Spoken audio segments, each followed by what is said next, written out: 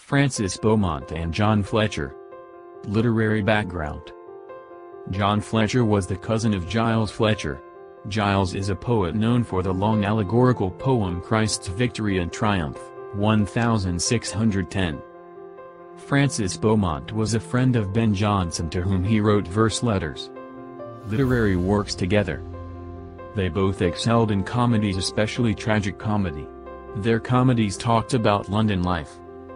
Together they wrote 52 plays. Their plays were superficial filled with spectacular incidents and stage effects. Their tragicomedies.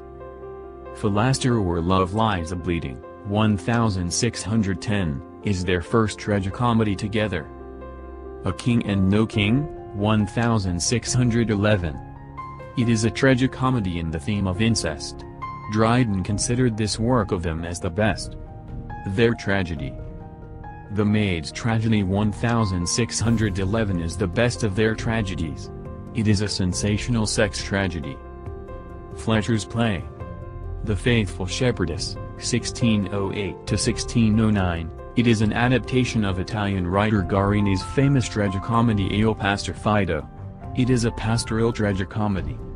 Fletcher's another famous play is All is True, 1613. It is also called Henry VIII, a history play. Beaumont's play. The Knight of the Burning Pestle, 1608. It is a satirical farce mocking the popularity of Spanish romances and chivalry quirks in London.